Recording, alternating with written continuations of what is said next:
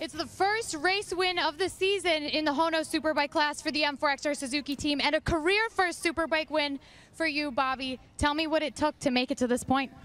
Oh man, what can I say? It's been a long time coming, but uh, you know, unfortunately, Cam went down, and you know, I want to stand up top on this uh, on the box with uh, Cameron in the race too. So it's unfortunate for that team, but you know, it's uh, it's been a pleasure riding for John and Chris Ulrich, and you know, they gave me this opportunity on the Superbike uh, to show me, showcase my talent and see what I can do in the big boys. And uh, you know, it's paid off, and uh, we're just going to keep the ball rolling. But I got to give it up to my whole team, man. They're working their butts off. My crew chief Frank, my mechanic Cody, Tim, my coach Josh Hayes. You know, everybody who's been behind me. Mike for taking care of me this weekend. There's been so many people who's been behind this effort, and uh, thanks for always believing in me. And uh, we're going to try to keep it on two wheels and keep the ball rolling.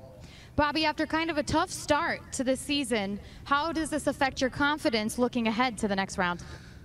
Oh, you know, definitely uh, it's a confidence booster, but the, the end goal is to beat Cameron. You know, he's the, the number one plate holder, and uh, we're chipping away at it. It's, uh, it's slowly coming, and uh, I, I, feel like everybody else knows I'm coming. But uh, like I said, we're just going to stay positive and look forward to the future.